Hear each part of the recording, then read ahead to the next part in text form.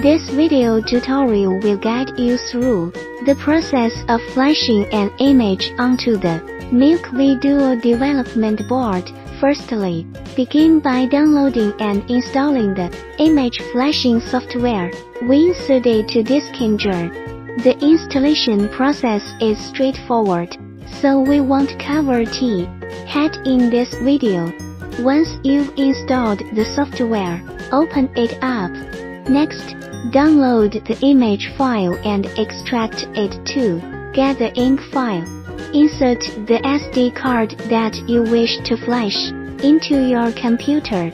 Once your computer recognizes the SD card, you should be able to locate it on Win, TH, RT to Diskinger. Using Win32 Disk Imager, select the image file you wish to flash, and the appropriate disk, your SD card. Once you've made these selections, you can proceed to click on Write to begin the flashing process. After the flashing process is complete, insert the SD card into your Milk V Duo.